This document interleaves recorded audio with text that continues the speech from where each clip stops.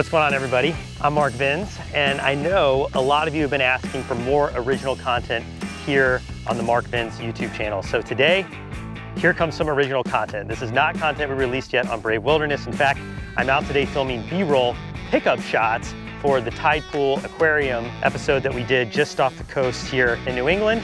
And one of the creatures I missed on the actual production day was any kind of fish. I could not find a fish at all. And lo and behold, I come out here to get a few B-roll shots and boom, this little pocket is absolutely full of fish. Hopefully I can catch one of these, but they are very fast, so wish me luck. Nope. Total whiff. They stop moving and they camouflage so well. There's one. Nope. Bit of a cat and mouse situation, folks. Thought this was gonna be easy. They like to sort of hide underneath these rocks. Maybe I can flush them out. Oh, I see a fish on a rock. I think this is a good spot. It's in deep water, so I can get my net down there. Did I get it? Oh, I got it. Oh, there we go. Got the fish. Awesome. Okay. I got to ID it, but redemption with the fish here in New England. Okay, so here we go. Got a little container. Throw in some water there. That's good. And here comes the fish. Whoop. All right, let's get a close look at that fish.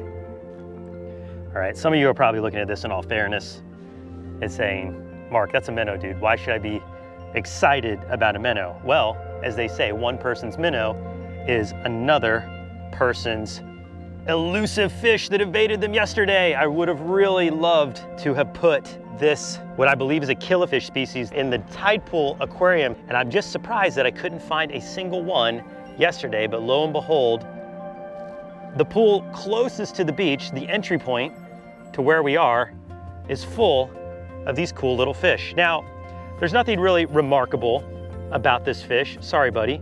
Um, pretty typical for a small fish. It's an opportunistic feeder. It feeds on things like small invertebrates, uh, snails, shrimp, and little tiny plankton, zooplankton, things like that would be good food for this animal. Uh, and they're opportunistic, so they will eat some algae and other plant materials as well. They're, they're definitely omnivores and they prefer tidal and marsh estuaries, places like rock pools that we're in right now. And it's really hard to identify these small species of fish. But yeah, we did it. We finally caught a fish here in New England, and I'm glad we're going home victorious. And I hope everybody enjoyed this uh, little but fun original piece of content.